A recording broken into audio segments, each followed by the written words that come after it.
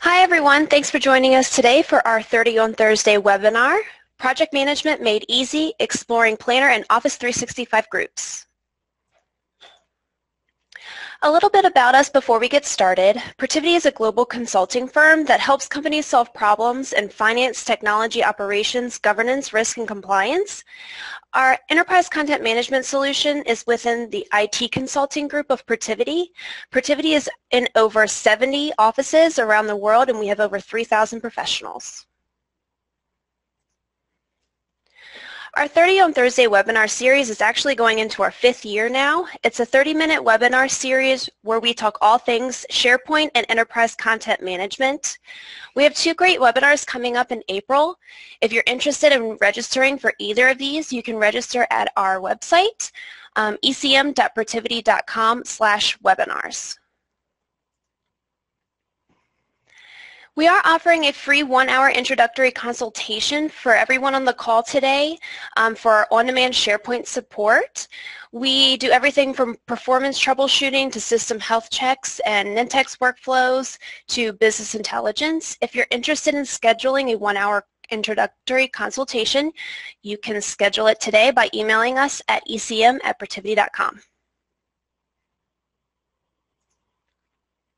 We are doing some live tweeting today during the presentation. You can tweet us your questions and feedback at ProtivitiECM and use the hashtag 30TOffice365.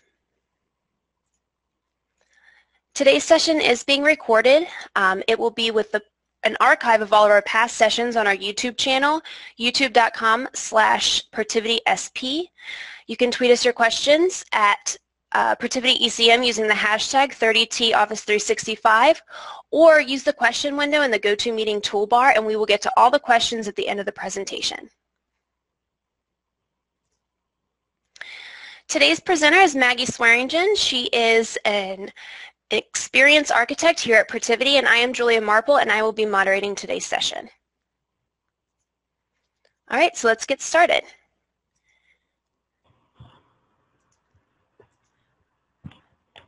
All right, Maggie, you can take it from here. Great. Let me know when you can see my screen. Yep, it looks great. Perfect.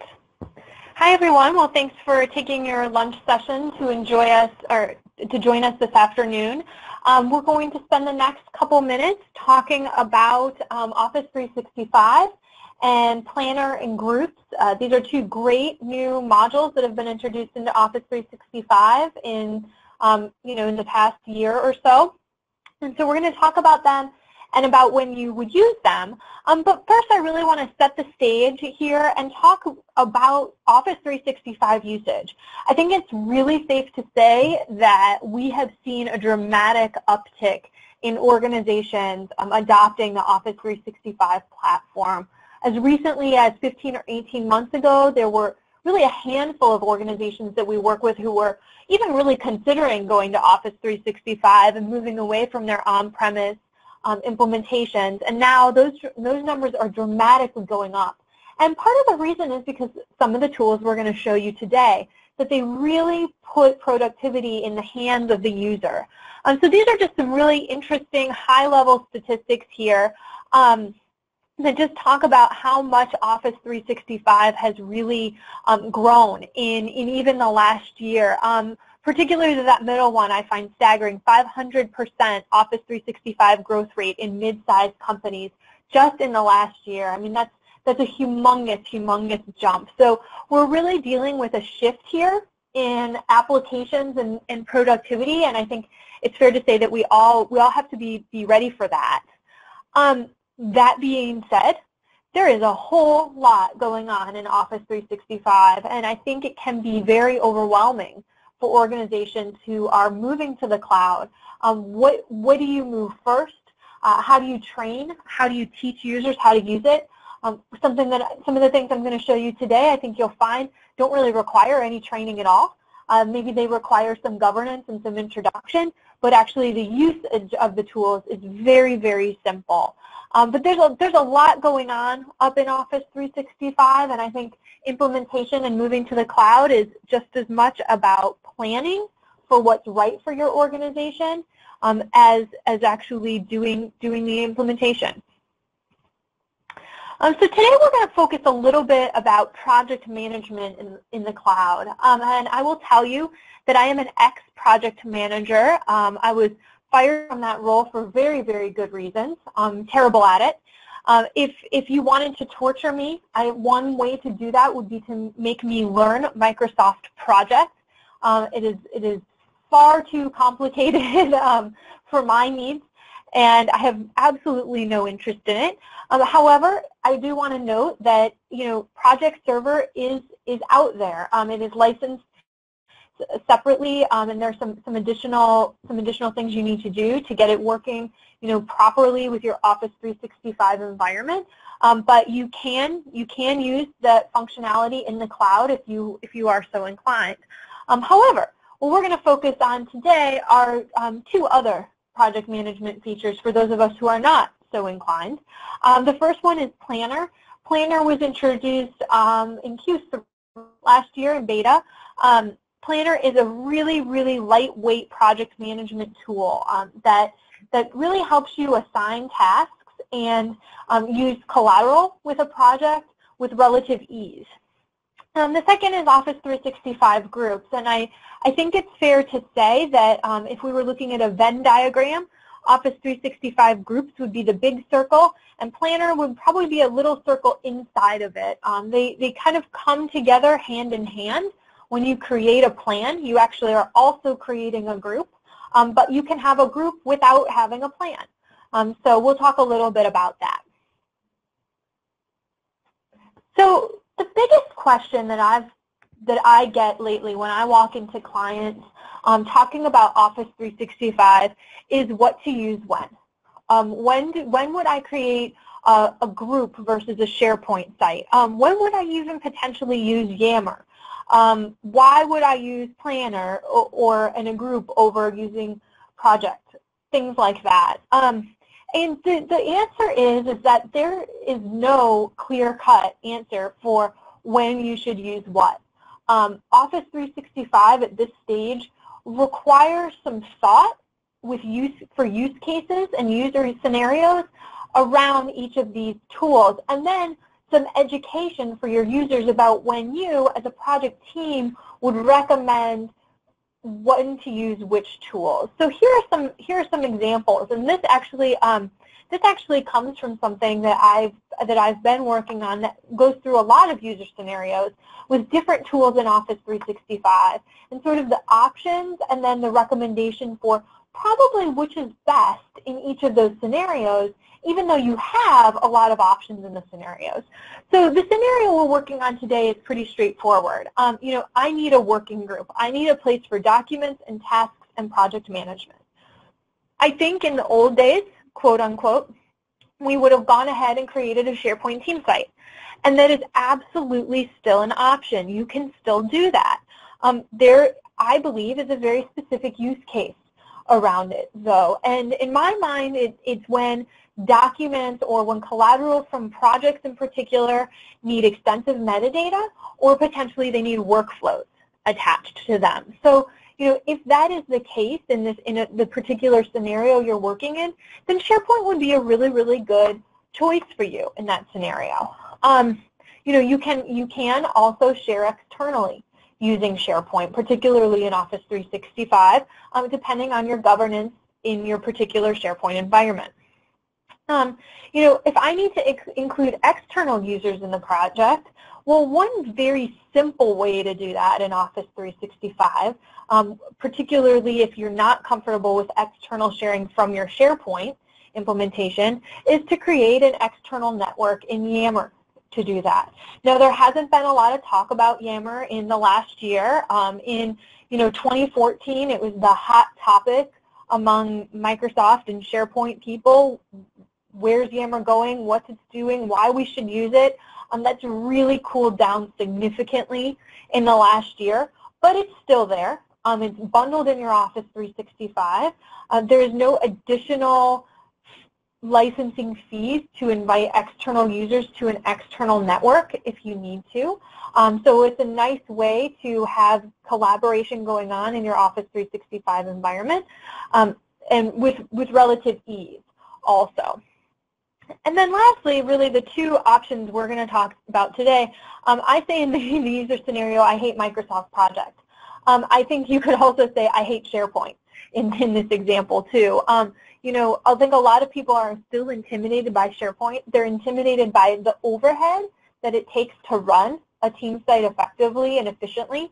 Um, but Planner or an Office 365 group are fantastic options for that light power user, um, that person who really can see the value in this technology, wants to start using it, but doesn't feel the need to have extensive training uh, for SharePoint. All right, so what are we going to walk through here in the next 15 minutes or so? Well, we're going to go ahead and create a new group and take a look at what that looks like. Um, we'll talk a little bit about group privacy, group inboxes, adding members, and then we'll take a quick walk through some of the features in a group. Um, it is, I don't think, any coincidence that the features in groups and honestly the entire look and feel of groups looks very, very similar to the, to the look and feel of Yammer groups.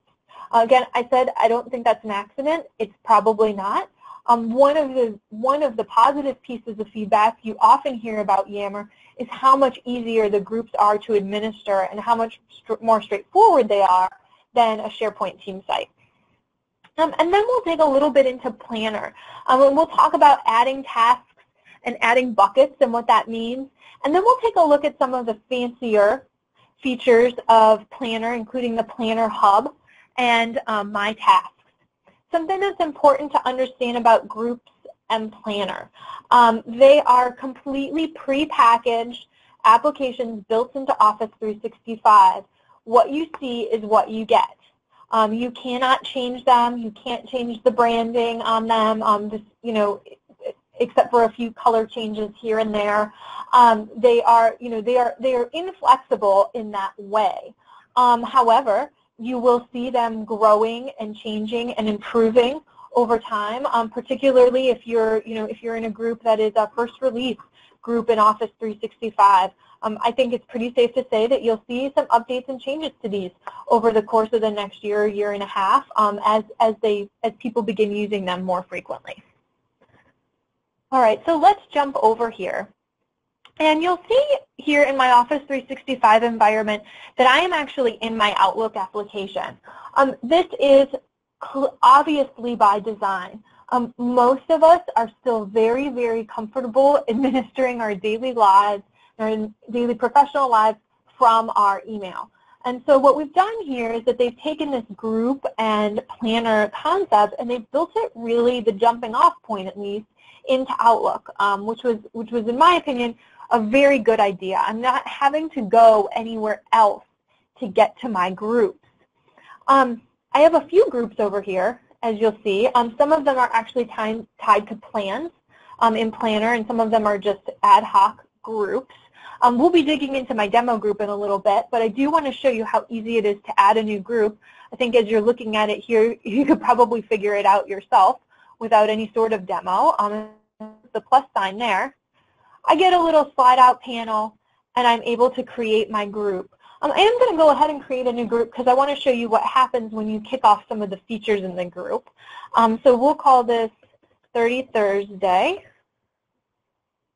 And you can see my group ID is available. So it gives you a group ID. Your group ID um, ties into the URL for the group. So if you wanted to change the ID for some reason, you could as long as it's available. Um, you can give the description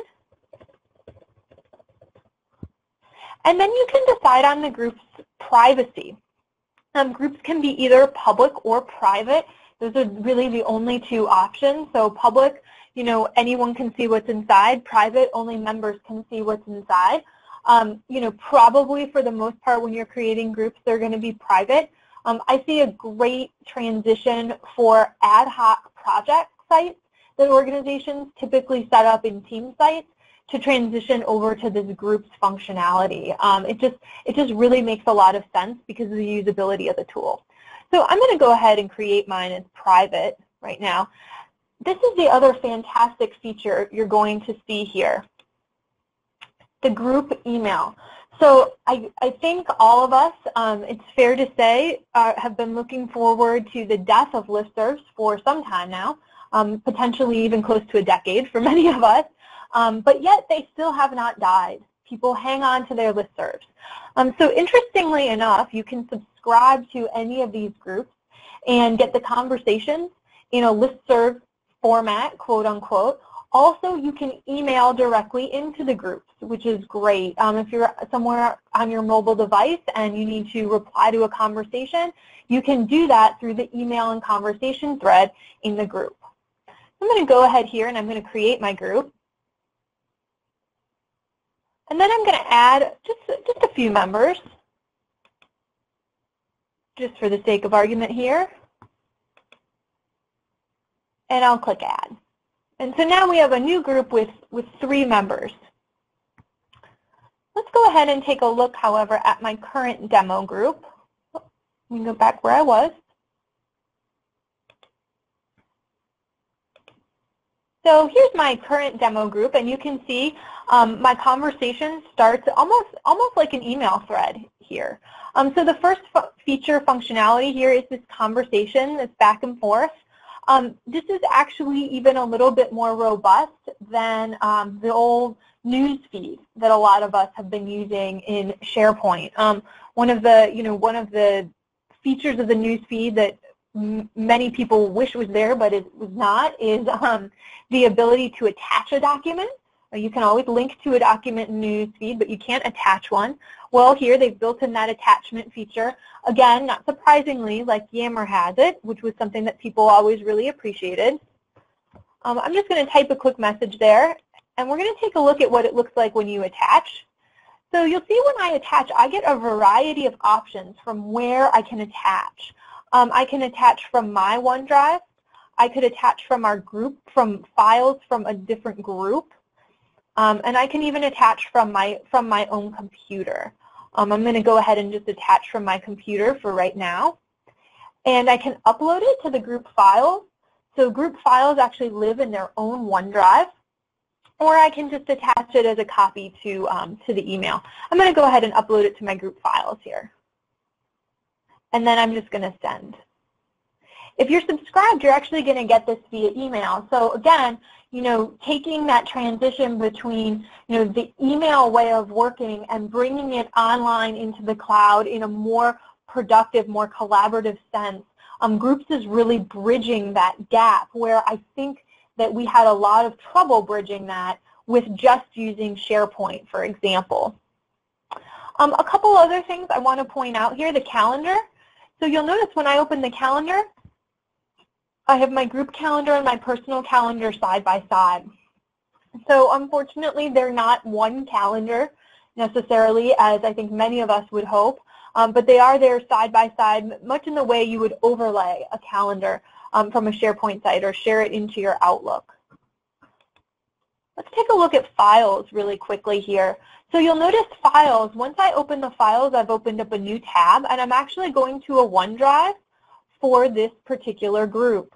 Um, I have files here, email attachments, that actually came from the conversation. So that so when I posted it to the conversation, it actually put the attachment with the content up here. And I can also see over here not just the files we have, but files that have potentially been shared with us by another group. So again, this lends credence to that one version of the truth mantra that many of us go around promoting. Um, we want to have one version of a document. We can do that a lot easier here because this sharing concept is facilitated. And so as a project group, if I'm in accounting and we have an accounting project and IT has ownership over a certain document, they can share it with us. It's surfaced here. We can see it, but there's really still only one version of it. I'm not double posting it in our project site so that we can get a copy of it.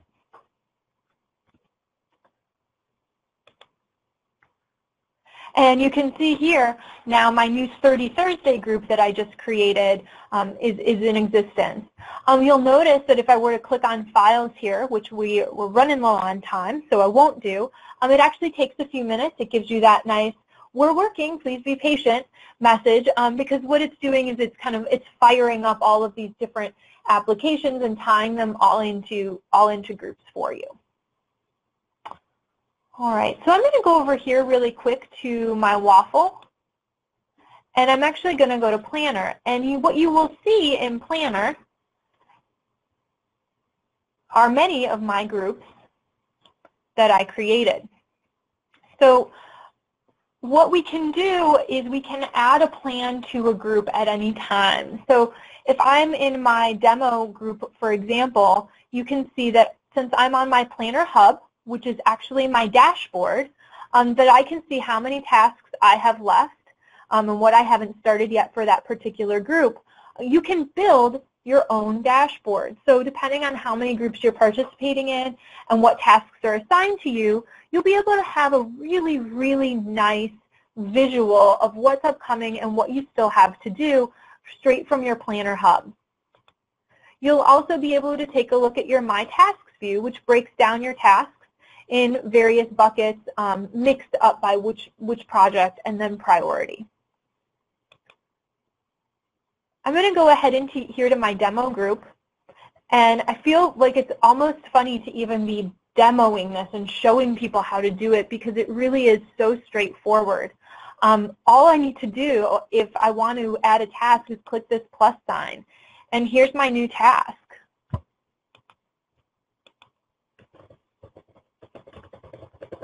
I can set the due date.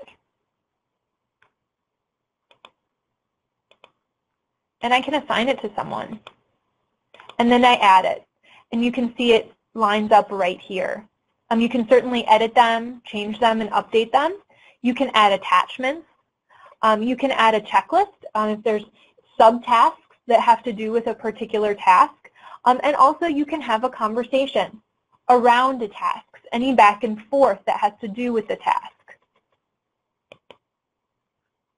You can also drag and drop tasks based on your buckets. So I like to think of buckets as um, boards uh, they could be titled however you want them to be titled. Uh, you could have buckets for each member of the group. You could have buckets for every phase of the project, which would make sense, and all of the particular tasks under that phase. Um, in this example, I actually just set up my buckets to be you know, different, different statuses for the tasks. So if I had started revising my document as, a, as the end user, I'm going to drag it into the in progress bucket there, and then I can start to view you know, what's in progress and how things are going. Um, this is the board view, but there's also the chart view here. And the chart view gives us what you might imagine, um, status and charts for particular projects. So slightly different than the, hub, than the Planner Hub, since that's really geared toward you as the individual. Um, this is for the, pro the specific project. You'll notice here too that if I click my ellipses, I have all of my group features built right in here. So those same documents that we were dealing with earlier, just in our group sense, are here and easily accessible from our plan should we, should we need them for our planning project. So two separate pieces of functionality and two separate applications, um, but very, very closely intertwined. So I'll stop there. We have about five minutes left in today's session um, and check with everyone and see if there are any questions. Great, thanks Maggie. Um, we do have a couple of questions. The first question we have is, does Office 365 respect SharePoint permissions? Yes, I believe it. I believe it does. Um, so let's say you had a document in a SharePoint group, or excuse me, in a SharePoint site, um, and that document had certain permissions on it, and you were sharing it with your Office 365 group, potentially um, through through a conversation thread in the, in the site, the way we looked at. Um, if I'm a member of the Office 365 group, but I don't have access to the document that's living in SharePoint, I still won't be able to access it. So, you know, SharePoint permissions are respected throughout this process uh, as they pertain to um, documents and assets you might be sharing around these sites. Um, you know, likewise, the same would be true if something was shared from someone's, you know, OneDrive that they hadn't that they hadn't explicitly given given you shared rights to. Okay, great. Um, can you add more than one person to a task? That's a great question. I actually haven't tried it, to be honest with you. Let's see.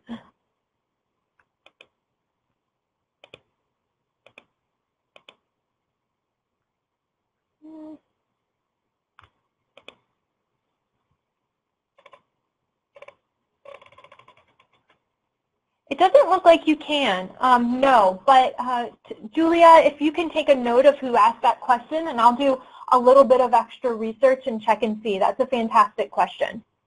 Okay, will do. Um, would I still need to use project for a timeline? Is there any way to import a timeline? No, there's not. Like I said, what you see here is what you get. So if the um, if the chart, if the timeline aspects of the chart don't necessarily um, meet your needs, if what you see here is not that, you know, the timeline, the Gantt chart look and feel that you're looking for, unfortunately, you know, it doesn't, it won't tie in here. You can't, you can't visualize the information that way. Now, nothing would stop you, of course, from linking to your to your project plan or um, or potentially um, you know, uploading uploading your project plan as a as a document file to the site, of course, and then people could open it in the native application. But there isn't any way to visualize that data in a timeline fashion.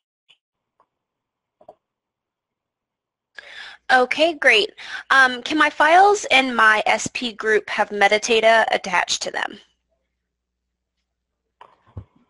Yes and no. Um, so that's a bit of a complicated question. So Remember the files in your, um, in your SharePoint group are actually living in OneDrive. Um, there are ways with PowerShell, um, and if anybody's particularly interested, we can send out a link to a TechNet article um, for, for getting at adding some custom metadata to OneDrive files. Um, and that, that functionality um, could, could potentially be used here in this use case. I have never actually done it. So we would, you know, we'd want to work through that process. Um, like I said, I think it's very safe to say if you um, if you have documents that require extensive metadata or if you have documents that um, are going to require extensive workflows, that really in that case, the better use would be um, a SharePoint site at this point until potentially some of those features are introduced into some of these tools. Okay, great. We did have one question about the recording. The recording of today's uh, presentation will be posted on our YouTube channel, youtube.com slash protivitisp.